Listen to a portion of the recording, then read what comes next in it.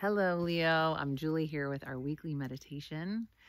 As you know, the best way to handle our stress and anxiety is to slow down and focus on the breath. But for some people, focusing on the breath can actually produce more anxiety. And for some time, sometimes focusing on the breath isn't enough. We need more than just that.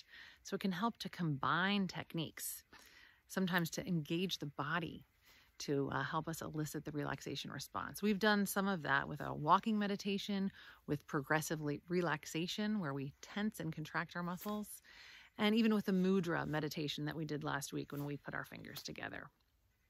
I'm going to teach you a new technique that was shared by Jud Brewer. He's a psychiatrist, a neuroscientist who focuses on addiction and habits. And you might hear him if you listen to some of those meditation apps that I have shared. This is a simple but effective technique. It's called the five fingers breathing. And it focuses, it calls on several different senses at the same time. So you're focused on more than just your breath.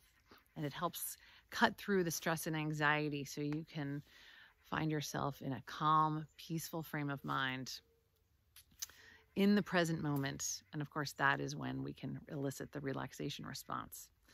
So get into your comfortable position feet on the floor. We're going to keep our eyes open this time. And you're going to take your hand when you're ready, face the palm of one hand toward you. And then you are going to take the index finger of your other hand and place it just below your pinky. And you can attach your breath. I'm going to attach the breath to the movement, but you can focus on the sensations if that is better for you. So on the in breath, you're going to trace your finger up to the top of your pinky. And on the out breath, you're going to trace down. And then on the in breath, you're going to trace up your ring finger. And on the out breath, you're going to trace down. So do this with me. In breath, out breath. In breath, out breath. And then your thumb, in breath and out breath. I'm going to turn the camera so you have can do a little forest and field bathing. And then go the opposite direction of what we just did on your own count, at your own pace. Starting with your thumb, the outside of your thumb, trace up with your index finger on the in breath and down the other side with the out breath and so on. Watch your finger. Watch your hands as you do this.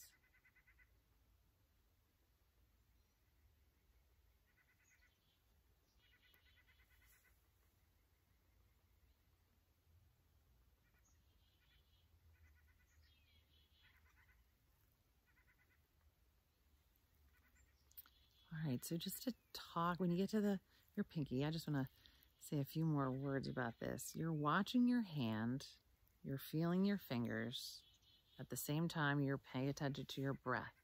So this is multi-sensory. You're seeing and you're feeling and doing breath awareness. This actually requires a lot of the space you have in your brain that's used for your working memory, what you're using right now. And what that means is you can't do everything at once. You can't focus on five fingers and two hands and your breath and worry at the same time. So while you're doing this exercise, you might find that you forget what you were worried about for a minute. Or you might have a different perspective of the worry. You might see it differently. Or maybe you can just let those worries and thoughts go. Just let them be passing instead of something that requires your attention and your action. And as you continue, why don't you continue tracing your fingers? As you continue to do this, you calm down your nervous system. You calm down your stress response and elicit the relaxation response. And then when your thoughts come back, maybe they don't have such a hold on you. They're not as convincing. What did you think about that?